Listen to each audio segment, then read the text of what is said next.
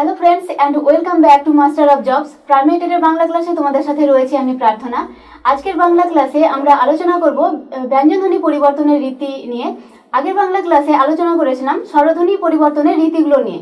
তো চলো শুরু করি আজকের ক্লাস আজকের টিউটোরিয়ালে আমরা আলোচনা করব ব্যঞ্জনধ্বনি পরিবর্তনের রীতি নিয়ে। তার আগে আমরা আগের ক্লাসটা একটু রিকল করে নিই। আগের দিন টিউটোরিয়ালে আমরা আলোচনা করেছিলাম স্বরধ্বনি পরিবর্তনের রীতি নিয়ে। সেদিন ধ্বনি পরিবর্তন কি জেনেছিলাম? আর জেনেছিলাম ধ্বনি পরিবর্তনের কারণগুলি। আর স্বরধ্বনি আর ব্যঞ্জনধ্বনি পরিবর্তনের যে রীতিগুলি নিয়ে রীতিগুলি রয়েছে, সেই রীতিগুলি সম্পর্কে আমরা জেনেছিলাম। আর সেদিন স্পেশালি আলোচনা করেছিলাম স্বরধ্বনি পরিবর্তনের রীতিগুলো নিয়ে। তো আজকে আমরা আলোচনা করব ব্যঞ্জনধ্বনি পরিবর্তনের রীতি নিয়ে। তো এবার আমরা শুরু করি। দেখে নিই যে ব্যঞ্জনধ্বনি পরিবর্তনের রীতিগুলি কি কি রয়েছে। প্রথমে যেটি রয়েছে সেটি হলো ব্যঞ্জন দ্বিত্ব এই দ্বিত্ব কথাটি থেকে আমরা বুঝতে পারি যে এখানে ডবল উচ্চারণ হবে বা দুবার উচ্চারণ হবে এরকম ব্যাপার।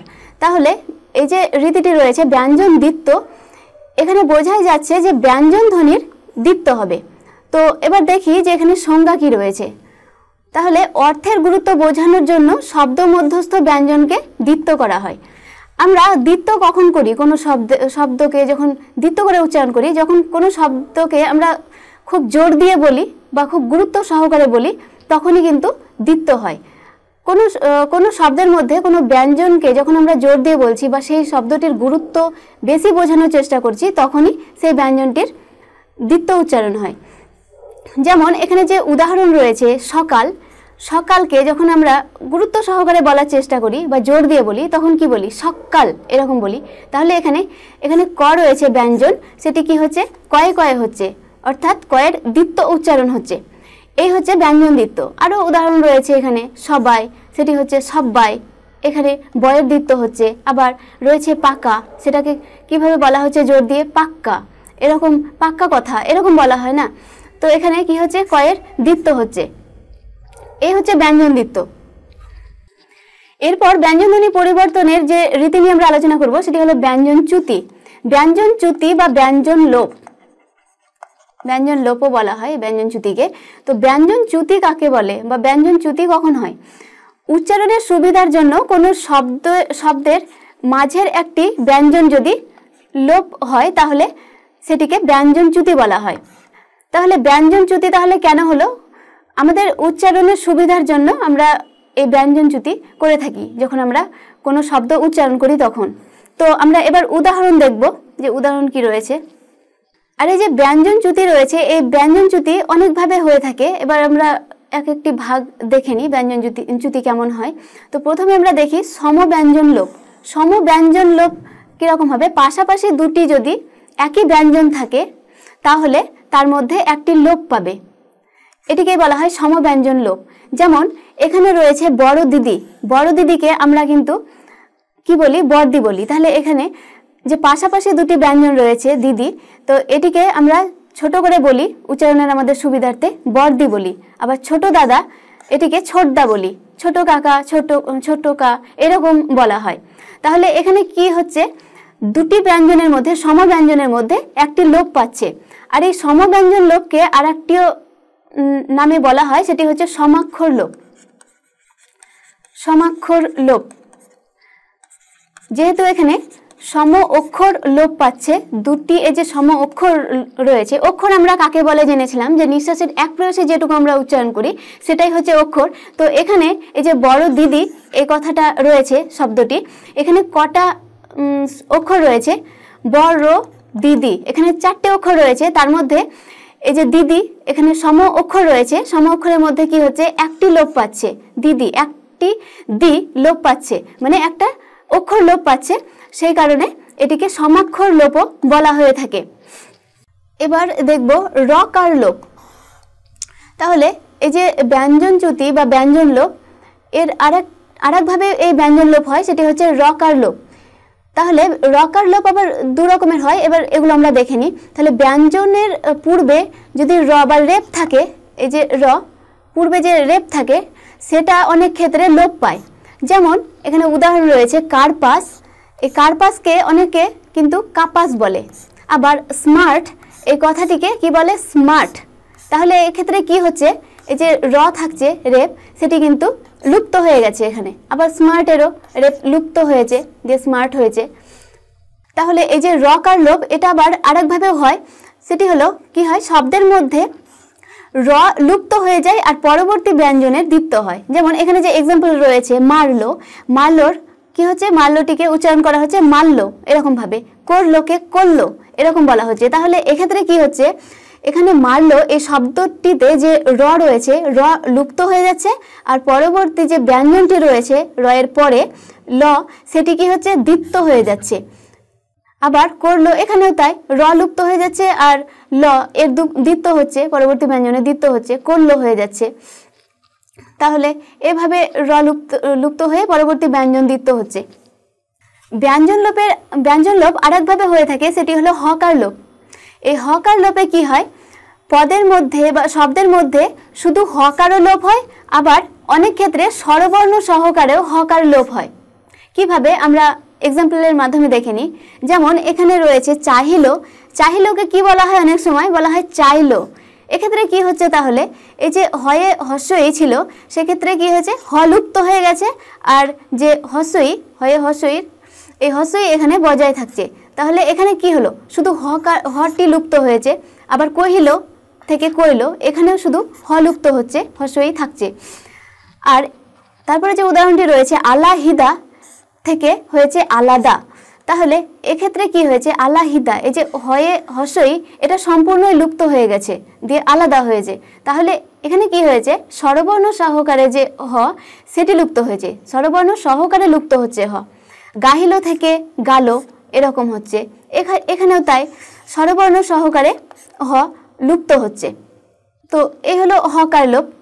তাহলে আমরা যে সমব্যঞ্জন লোপ বা হলোপ বা রকার লোপ এগুলো দেখলাম, এগুলো ছাড়াও কিন্তু এই ব্যঞ্জনচ্যুতি আর এক ধরনের রয়েছে আর একভাবে লোপ হয় ব্যঞ্জনচ্যুতি সেটি হলো অনন্য ব্যঞ্জন লোপ।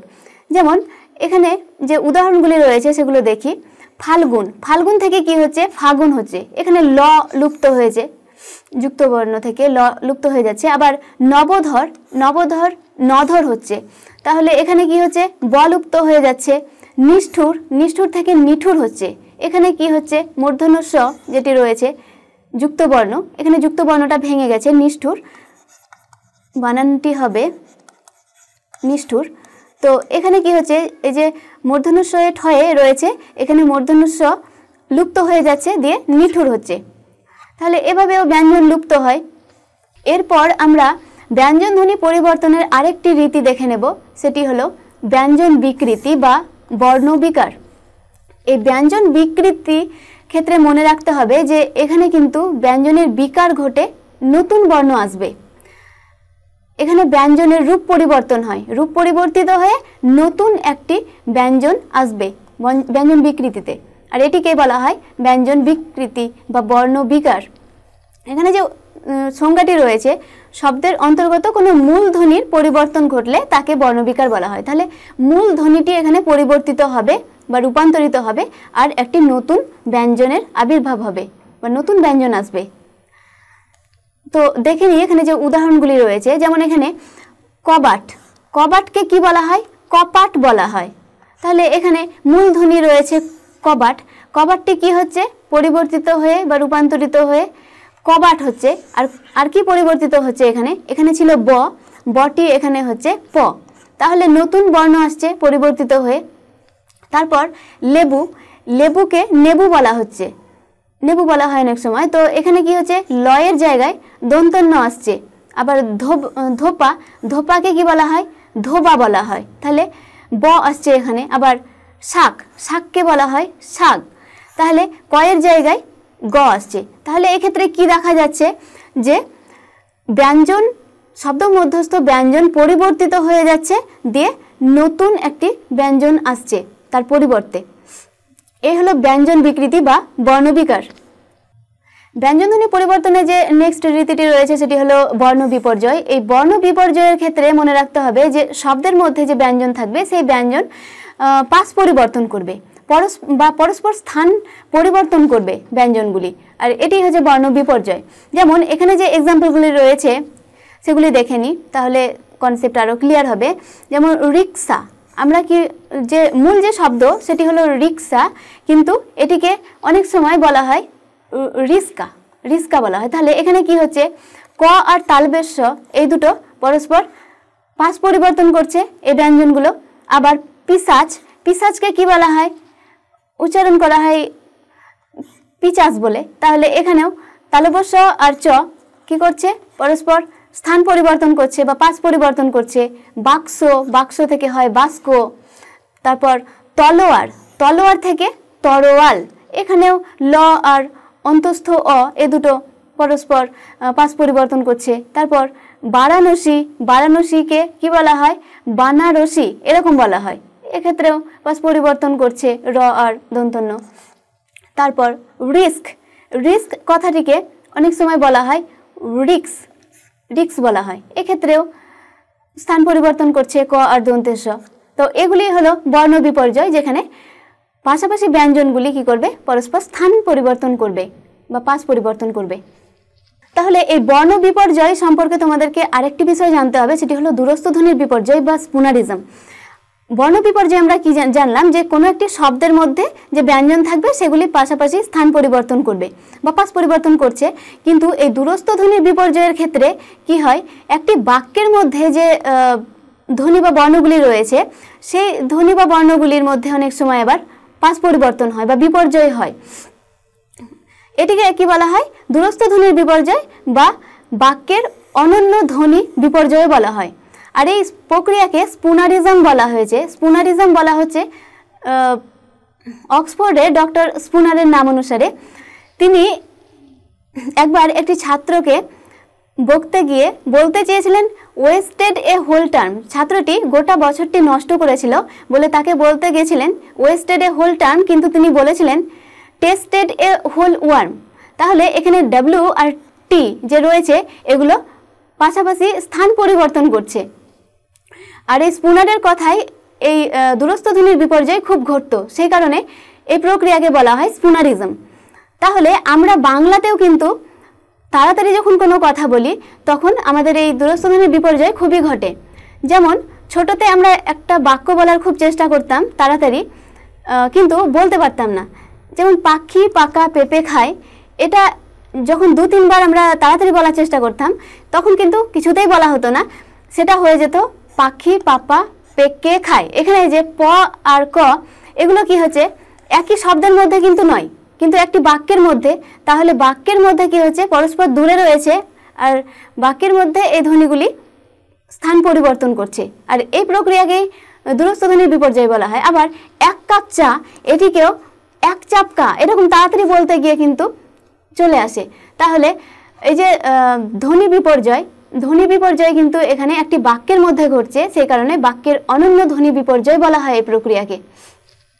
বর্ণ বিপর্যয়ের ক্ষেত্রে তোমাদেরকে এই বিষয়টিও মনে রাখতে হবে। তবে এক্ষেত্রে আমি একটি কথা বলি। আমরা যে ধ্বনি বিপর্যয় বা বর্ণ বিপর্যয়ের কথা বলছিলাম, সেখানে শব্দের মধ্যে কি হচ্ছিল? ধ্বনিগুলি যদিও পরিবর্তিত হচ্ছিল, পাশ পরিবর্তন করছিল, কিন্তু শব্দের অর্থ পরিবর্তিত হচ্ছিল না। অর্থ কিন্তু আমরা একই বুঝছিলাম, আর উচ্চারণটা আলাদা হচ্ছিল। কিন্তু এক্ষেত্রে দূরস্থ ধ্বনির বিপর্যয়ের ক্ষেত্রে কি হবে? বাক্যের অর্থ কিন্তু পাল্টে যায়। যে শব্দ রয়েছে এখানে, এই যে পাখি পাকা পেঁপে খায়, এখানে যখন এই যে পেঁপে, পেঁপেকে পাপা বলছি, তো এখানে কি হচ্ছে?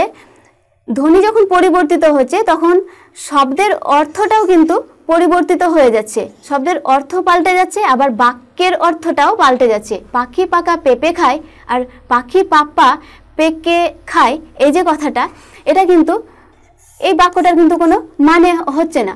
মানে যে পাখি পাকা পেঁপে খায়, এ বাক্যের অর্থ সম্পূর্ণরূপে পাল্টে যাচ্ছে। তো দূরস্থ ধ্বনি বিপর্যয়ের ক্ষেত্রে বাক্যের অর্থ বা শব্দের অর্থ পাল্টে যাবে। তাহলে ব্যঞ্জনধ্বনি পরিবর্তনের নেক্সট যে রীতি রয়েছে, সেটি হলো সমীভবন বা সমীকরণ। এখানে কি করা হয়? কোনো শব্দের মধ্যে যদি পৃথক ব্যঞ্জন থাকে তাহলে উচ্চারণের সুবিধার জন্য সেই পৃথক ব্যঞ্জনগুলিকে একই ব্যঞ্জনে বা একই বর্গের ব্যঞ্জনে পরিণত করে নেওয়া হয় বা রূপান্তরিত করে নেওয়া হয়। এটিকে সমীভবন বা সমীকরণ বলা হয়। সমীকরণ বলা হচ্ছে কারণ একই ব্যঞ্জন করে নেওয়া হচ্ছে, যেহেতু সেই কারণে একে সমীকরণও বলা হচ্ছে এই সমীভবনকে। তো এখানে সংজ্ঞাটি দেওয়াই আছে যে একই শব্দের মধ্যে বিভিন্ন ব্যঞ্জন ধ্বনি যদি পাশাপাশি থাকে, তাহলে উচ্চারণের সুবিধার জন্য কি হবে? ওই ব্যঞ্জন ধ্বনি দুটিকে একই ধ্বনিতে বা কখনো একই বর্গের ধ্বনিতে রূপান্তরিত করে নেওয়া হয়, একেই সমীভবন বলে। তো আমরা উদাহরণগুলি দেখব এবার। তাহলে এই সমীভবন বা সমীকরণের কয়েকটি ভাগ রয়েছে, আমরা এই ভাগগুলি আলোচনা করব। আর এই সমীভবন বা সমীকরণ সম্পর্কে আরেকটি কথা বলি, সেটি হলো এই সমীকরণকে কিন্তু ব্যঞ্জন সঙ্গতিও বলা হয়। যেহেতু এখানে ব্যঞ্জন বর্ণগুলিকে আমাদের উচ্চারণের সুবিধার জন্য সঙ্গতিপূর্ণ করে নেওয়া হয়। আগের ক্লাসে আমরা স্বরসঙ্গতি নিয়ে আলোচনা করেছিলাম, আর সেখানে কি করছিলাম? স্বরবর্ণগুলিকে সাজিয়ে নিচ্ছিলাম নিজেদের উচ্চারণের সুবিধা মতো। আর এখানে ব্যঞ্জন বর্ণগুলিকে সাজিয়ে নেওয়া হয়, সে কারণে একে আবার ব্যঞ্জন সঙ্গতিও বলা হয়। তো এর যে ভাগগুলি রয়েছে তো সেগুলো আমরা দেখি। এবং প্রথমে যেটি রয়েছে সেটি হচ্ছে প্রগত সমীভবন। আর এই প্রগত সমীভবনে কি হয়? পূর্ববর্তী ব্যঞ্জনের প্রভাবে পরবর্তী ব্যঞ্জনটি পরিবর্তিত হচ্ছে। এখানে তাহলে প্রথম যে ব্যঞ্জনটি থাকবে, সেটি স্থির থাকবে আর পরের ব্যঞ্জনের পরিবর্তন ঘটবে। যেমন এখানে উদাহরণ রয়েছে, চন্দন, চন্দনকে অনেক সময় বলা হয় চন্দন। তো এখানে দেখা যাচ্ছে যে চন্দন, এই যে মূলধ্বনি রয়েছে মূলধ্বনি মূলধ্বনিটা কি হচ্ছে? এখানে দন্তনয়ের দয়ে আছে। তো এখানে পরেরটায় দেখা যাচ্ছে যখন বিকৃত উচ্চারণ করছি আমরা, চন্দনের, চন্দন উচ্চারণ করছি, তখন দেখা যাচ্ছে যে এই প্রথম যে দন্তন্য যুক্ত বর্ণের, সেটি স্থির থাকছে আর পরের যে দ, সেটির পরিবর্তন ঘটে দন্তন্য হচ্ছে। আর আমরা উচ্চারণের সুবিধার জন্য বা এদেরকে সঙ্গতিপূর্ণ করে নিচ্ছি। দিয়ে চন- চন্দন উচ্চারণ করছি। আবার যে পদ্ম রয়েছে, পদ্ম এখানে দয়ে ময়ে রয়েছে, আর উচ্চারণ করছি পদ্ম। পদ্মকে পদ্ম উচ্চারণ করা হচ্ছে। তো এখানেও দেখা যাচ্ছে যে প্রথম যে দ, সেটি বজায় থাকছে, আর পরের যে ম, সেটি কি হচ্ছে? পরিবর্তিত হয়ে যাচ্ছে।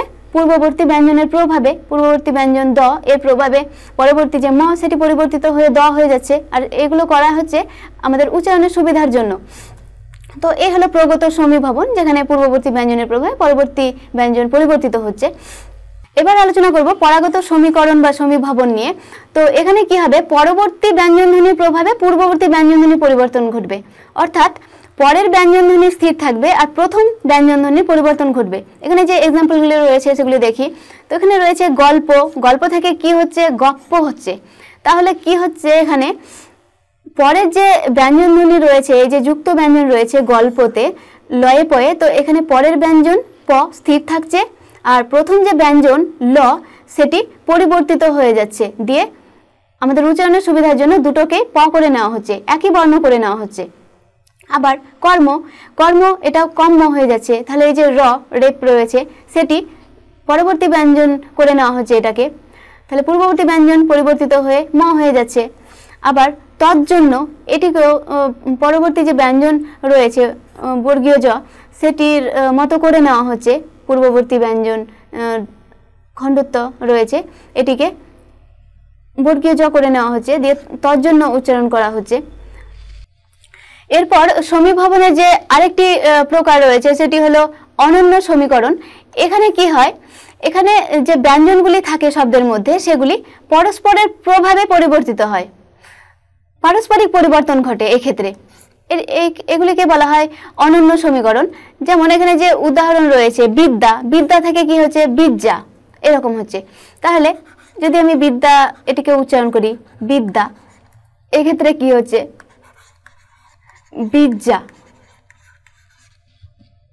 তাহলে এখানে কি হচ্ছে? যে দ রয়েছে, সেটি পরিবর্তিত হয়ে যাচ্ছে, দিয়ে বর্গীজ হচ্ছে। তাহলে এখানে দুটোই পরিবর্তিত হচ্ছে, দিয়ে দুটো দ পরিবর্তিত হয়ে এখানে দুটোই বর্গীয় জ হচ্ছে। আবার এখানে সত্য সত্য থেকে স্বচ্ছ হচ্ছে। তাহলে সত্য। এরকম, তাহলে উচ্চারণ যদি করি সত্যকে, আবার এখানে কি হচ্ছে? স্বচ্ছ। তাহলে এক্ষেত্রে দেখা যাচ্ছে যে ত থাকছে আর এখানে চ হয়ে যাচ্ছে। তাহলে পারস্পরিক পরিবর্তন ঘটে যাচ্ছে। এটিকেই বলা হয় অনন্য সমীকরণ। এরপর ব্যঞ্জ- ব্যঞ্জনধ্বনি পরিবর্তনের আরেকটি রীতি নিয়ে আলোচনা করব, সেটি হলো বিষমী ভবন। সমী ভবনের বিপরীত প্রক্রিয়া হলো বিষমী ভবন। সমী ভবনে কি হচ্ছিল? কোনো শব্দের মধ্যে পৃথক ব্যঞ্জন বর্ণ বা ব্যঞ্জন ধ্বনি থাকলে সেটি পরিবর্তিত হয়ে কি হচ্ছিল? একই ব্যঞ্জনে পরিণত হচ্ছিল বা একই বর্গের ব্যঞ্জনে পরিণত হচ্ছিল। কিন্তু বিষমী ভবনে কি হবে? একই ব্যঞ্জন থাকবে একটি শব্দের মধ্যে, সেটি পৃথক হয়ে যাবে। এটি হচ্ছে বিষমী ভবন। তো যেমন এখানে উদাহরণগুলি রয়েছে, লাল, সেটি হচ্ছে নাল। তাহলে এখানে দুটোই ল ছিল, তাহলে একটা এখানে কি হলো? দন্তন্য হয়ে গেল। আবার এখানে শরীর, শরীরে দুটো র ছিল, একই ছিল দুটো। সেটা কি হলো এখানে? এখানে ভুল আছে একটু। শরীর হবে, এটা ল হবে, র হবে না। শরীর হয়ে যাচ্ছে শরীর থেকে। তাহলে কি দেখা যাচ্ছে এখানে? যে শব্দের মধ্যে দুটো একই ব্যঞ্জন থাকছে, কিন্তু সেটি পরিবর্তিত হয়ে অন্য হয়ে যাচ্ছে। এটি হচ্ছে, এই প্রক্রিয়াকে বলা হয় বিষমী ভবন। তো আমরা এই যে ধ্বনি পরিবর্তনের বিভিন্ন রীতিগুলো নিয়ে আলোচনা করলাম, স্বরধ্বনি পরিবর্তন বা ব্যঞ্জনধ্বনি পরিবর্তনের। এই রীতিগুলো ছাড়াও আরেকটি বিষয় নিয়ে আমি একটু আলোচনা করব, সেটি হচ্ছে সংকোচন। এটিও ধ্বনি পরিবর্তনের একটি রীতি। এক্ষেত্রে কি হয়? উচ্চারণের দ্রুততার জন্য অনেক সময় কোনো শব্দের মধ্যে সবকটি ধ্বনিকে আমরা কিন্তু পূর্ণরূপে উচ্চারণ করি না। সবকটিকে মিলিয়ে সংক্ষিপ্ত রূপে উচ্চারণ করার চেষ্টা করি।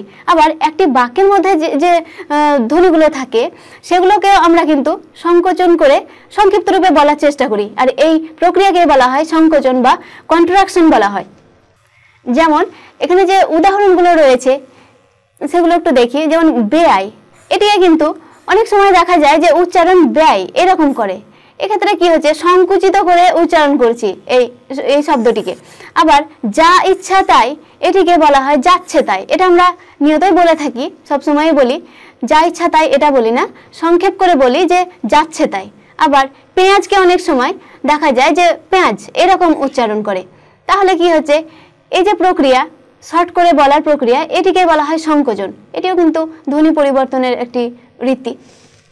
তো ফ্রেন্ডস এই ছিল আজকের বাংলা ক্লাস আজকের বাংলা ক্লাসে আমরা আলোচনা করলাম ব্যঞ্জন ধ্বনি পরিবর্তনের রীতিগুলো নিয়ে। তোমরা যদি কোথাও বুঝতে না পারো, তাহলে কমেন্ট বক্সে অবশ্যই কমেন্ট করে জানাবে। আর পরবর্তী ক্লাসে আমরা আলোচনা করব এই ধ্বনি পরিবর্তনের যে রীতি নিয়ে আলোচনা করলাম, তারই প্রশ্নোত্তর নিয়ে। তো দেখা হচ্ছে পরবর্তী ভিডিওতে আজ এ পর্যন্তই। ধন্যবাদ।